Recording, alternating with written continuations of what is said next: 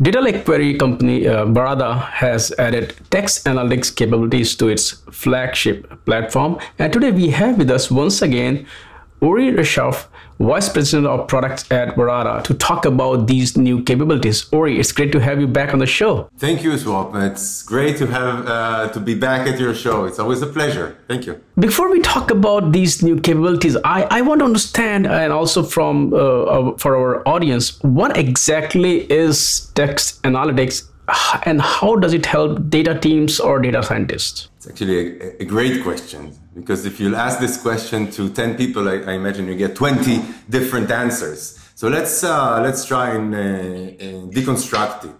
Let's start with two big categories of text analytics, because when we say text analytics, we say a lot of a lot of things, a lot of things run through our heads. So let's divide it into two: search on text, and we'll talk how, how this is done, and extract new information and insight out of the text.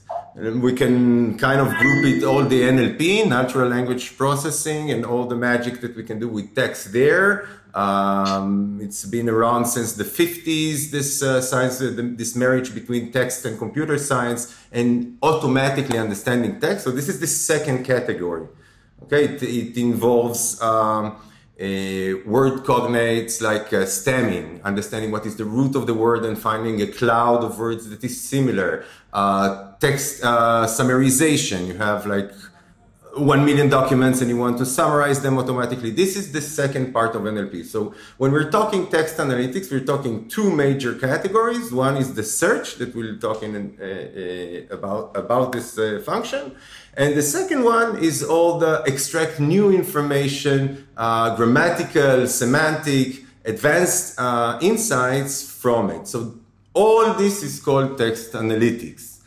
Uh, what we are bringing to the table and we're going to focus on uh, uh, later on is the search capability. We can talk uh, also about all the uses, but these are the main pillars of, of text analytics in, in grosso modo. Now let's talk about what are you announcing? Okay, what we are announcing is that we've added um, to our indexing cap capability. Our magic is uh, indexing and indexing on big data.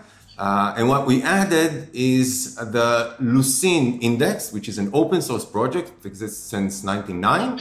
Uh, and we added it to our indexing capability, meaning that today Varada can index using the Lucene open source library, text, and enable the first part, as discussed, search on text with Lucene uh, method of indexing. Lucene gives two things, indexing and search. Uh, we're using the indexing uh, uh, capability of Lucene, and we're using our own technology and patents to store those indexes and search on them. This is what we announced uh, recently. What kind of use cases are you targeting with this announcement? So, as we said, text analytics is huge. It is being used uh, all over. Sometimes we were not even aware that uh, speech to text is behind the scenes doing, doing, doing magic. What we are uh, focusing on is the search capability. This is one and two, on very, very large quantities of data, meaning directly on the data lake via Varada. The use cases that we're looking are all the log analysis. Whenever you search for patents, so log analysis, folder analysis, let me give you an, an example of folder analysis. Folder analysis is used a lot in marketing analytics because let's look at the URL structure, for example something dot something dot com uh, and then slash slash slash. Let's say if i'm in a, a, department store and i'm looking for shoes i'll have the url with the slash shoes slash men slash sports. And, and all this is being analyzed. In order to extract and to, to even begin to analyze you need text analytics because the url is a text and you need the capability to search and you need the capabilities of uh, regular expressions contains and like. And this is what we want to bring to the table. Do all this on unprecedented quantities of data, of text in this, uh, in this case. Excellent. Uh, if we do look at uh, text analytics, uh, this is not a, a new problem. Uh, this problem has been solved. A lot of enterprises they are already using different kind of tools. It, it depends, you know, how capable those tools are or not. But let's talk about uh, some of the the ways that enterprise are trying to tackle this problem and what kind of challenge it creates for them. Because that is one of the reasons why you came up with this capability. Sure, that's that's a great question. So Text analytics has been around since the 50s. And people have been using that for, for many, many years. All the internet search is, you know, the, the basis, we will talk uh, uh, later about the, the, different technology, but the basis is Lucene uh, since the 90s, and before and uh, many other uh, technologies. Main use case, case is search. But then use cases started to evolve. Now let's say that I'm, uh, I have billions of chats or billions of reviews. That's very popular. Reviews of products or of content or anything else. And I want to know the sentiment behind a certain product or a certain uh, content piece. Then I will need very advanced uh, text analytics to do sentiment analysis, stemming, all the things that we uh, discussed earlier on. I will need for this kind of, of use case. And as I mentioned, Varada is not in this um, um, kind of, of use cases.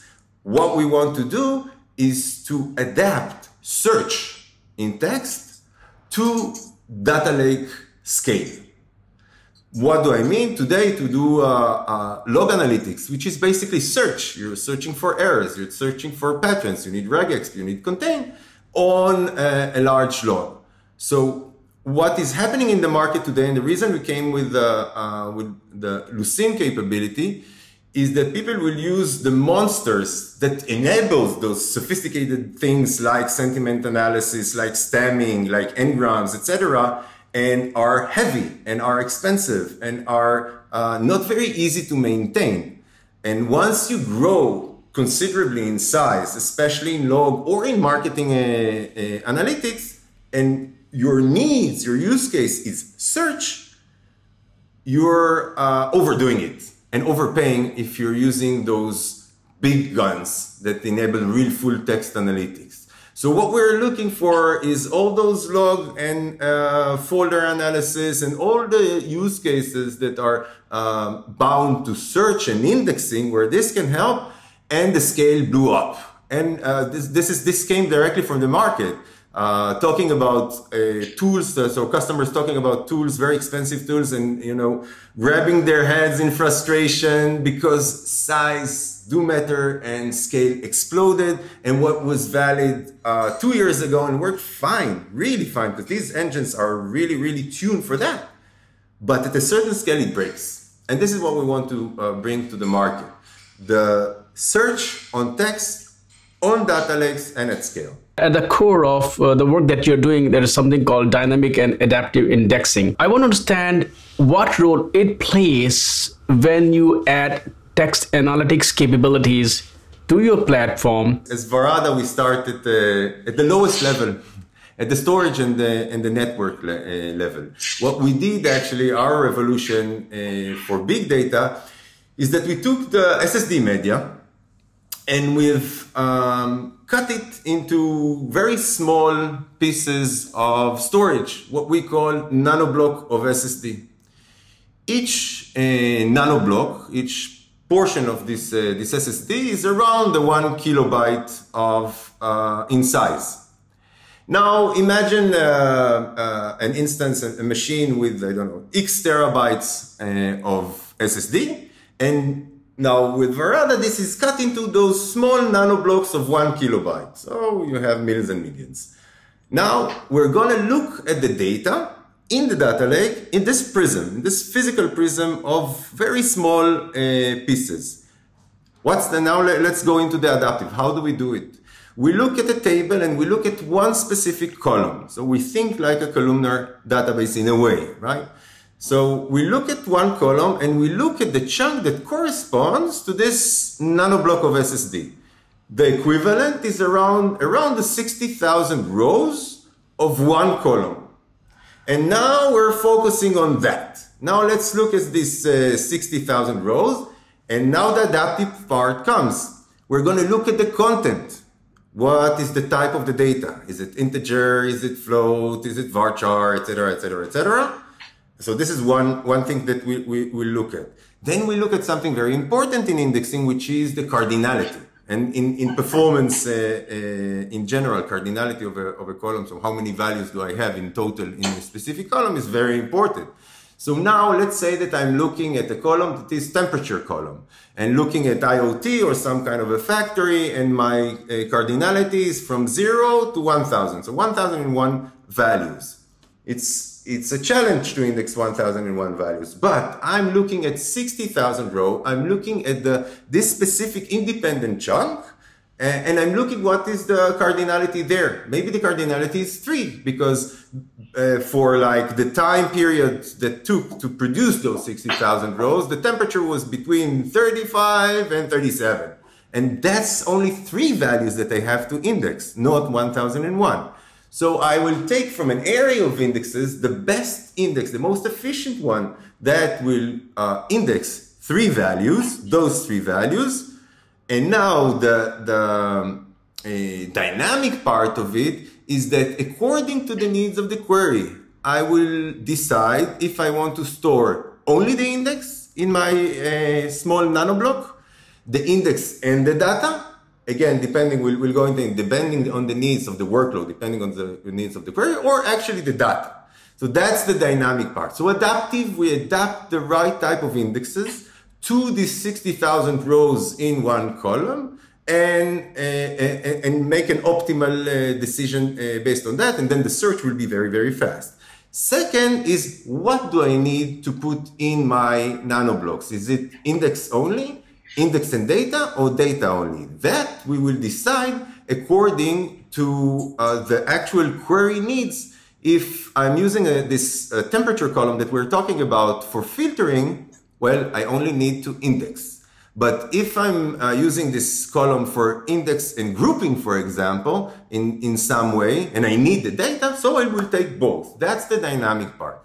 So we're trying to be very, very efficient at several fronts. At the end of the day, you index, you cache, you take intermediate results, you take storage space, and eventually we're, we're saving a lot in CPU and we're saving a lot in uh, storage. So we're trying to be as precise as possible, adaptive indexing and dynamic. We decide what to store, what to accelerate. You are leveraging open source projects like Apache Lucene. Uh, so, so talk about uh, these components, how you're leveraging, especially for this uh, text analytics. Okay, so we're as a company, we we are great advocates of open source. We like it and we participate in that. We take pride in the fact that we not only use the open source, we also contribute. So the first open source that Varada used is Presto.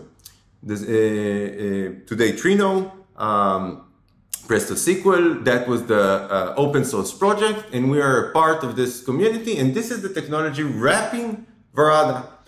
What we did for the text analytics is we implemented the Lucene Apache open source Java library uh, and, uh, and we are using for storing those document index, that's the, the, the uh, power of Lucene, in our nanoblocks. And then you leverage it twice, right? Uh, you leverage the Lucene smartness of indexing that's, again, adaptive. If I'm seeing uh, a column that is text, varchar something, or string something, uh, I will use Lucene automatically. And then I will store it in the, my independent nanoblocks, and this will be a part of the mesh of indexes of Varada that comes search. The search will be very fast because it will go on all the, the indexes. So you can imagine a mesh of indexes of B-trees, of dictionaries, Lucene, uh, etc., all combined with Varada, and Varada will use the appropriate index for the appropriate search. And so, so um, open source is a, an amazing world uh, the communities are vibrant and, and there is this solidarity between the entire community and people helping each other. So we're fascinated by that. We're contributors for, for both uh, Presto and we're now uh, hoping to, to contribute to other uh, open source projects. We open our own GitHub uh, and open up to an open, um, to an open source project, our Presto Analyzer. So open source is uh, is a great philosophy to uh, to live by for us. Of course, uh, you cannot share a lot of things that are already in the pipeline or still in the pipeline. You know, we'll talk about them as and when they happen. But uh, in the light of this announcement that you're making, if you can share the kind of roadmap or the plans that you have for the platform, to just give us some insight into what to expect. So uh, now what we see with our announcement of Lucene is a lot of cases of log analytics. Again, logs are massive in size uh, and there is more and more interest to keep more and more uh, history of logs. And the, the right decision is to go to um, text analytics in, on, on masses. And the right decision will be to go to a data lake and then perform a search on logs from the last five to seven years. This is one use case that we're targeting uh, everywhere where it breaks, uh, where the text analytics, traditional text analytics technologies are not appropriate to do a very specific task on this scale. This is what we're targeting, and, and this is uh, this is what we're uh, we're pushing for. And uh, the second one is all the um, uh, folder analysis in all its uh, in all its form. For cybersecurity, um, this this is uh, this is very helpful because cybersecurity is a lot of also address analysis to detect threats and and and and patterns that pattern recognition that they want to do on text, and that's also a direction and um, and the, the, marketing like an e-commerce use case of folder analysis. So these are the domains we're focusing on, and we're going to give more and more features to uh, uh, to support that. Ori, uh, once again, thank you for sitting down with me today and talk about these new capabilities that you are adding to the platform, and also go a bit deeper into how you know customers are trying to solve it and how you're making it easy for them. And as usual, I will look forward to have you again on the show. Thank you. Thank you so very much. Always a pleasure. I would be very glad to be back.